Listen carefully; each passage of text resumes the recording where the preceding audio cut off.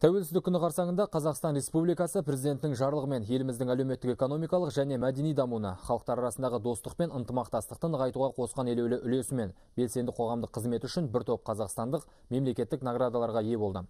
Олардың қатарында мәдениет, ғылым, білім, денсаулық сақтау салаларының көрнекті қайраткерлері, өндіріс, бизнес саласының өкілдері, құқық қорғау органдарының қызметкерлері, әскерилер, спортшылар, соғыс және еңбек ардагерлері бар. Қажырлы еңбек қоғамымызды біріктіретін аса маңызды құндылық.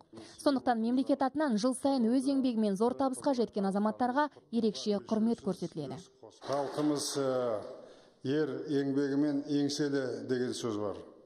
Биыл Қазақстанның еңбек ері атағыменен марапатталған азаматтарымыздың саны тағы да үшке асайын деп отыр. Еліміздің ең мәртебелі осы атаққа өзінің кәсібінен жұмысыменен елге көзі түсіп отанға қызмет істеген жандарға беріп отырмыз. Бұлардың бірі елге танымал дәрігер болса екеуі шаруашылықты басқаратын адамдар. Олар өздерінің ерен еңбегімен тәуелсіздігімізді нығайтуға өлшеусіз үлес қосып келеді. Қазақстанның еңбек ері атағы ең алдымен қызылордадағы күріш компаниясының директоры абзал ералиевке тапсырылды.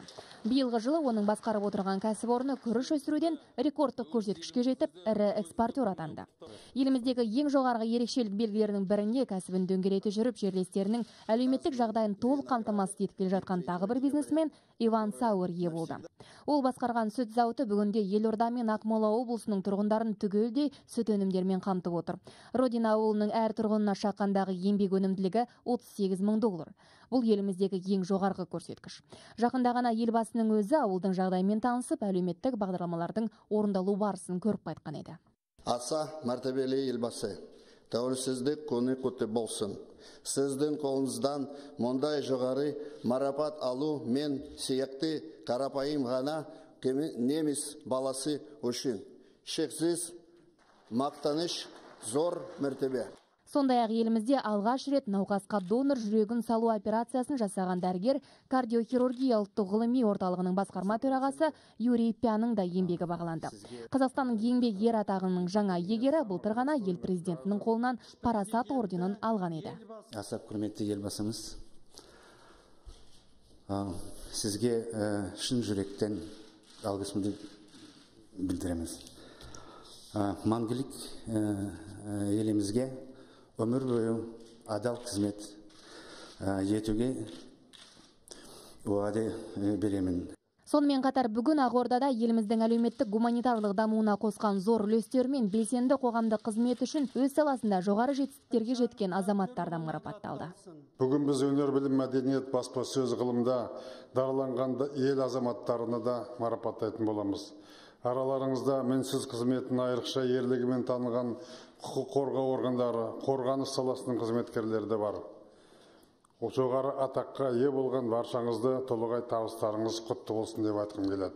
Қазақстан республикасының тұңғыш президенті елбасы нұрсұлтан назарбаев орденін барыс парасат құрмет даңқ айбын ордендері мен ерлігі үшін медальдарын 30 адамға елбасының өзі тапсырды.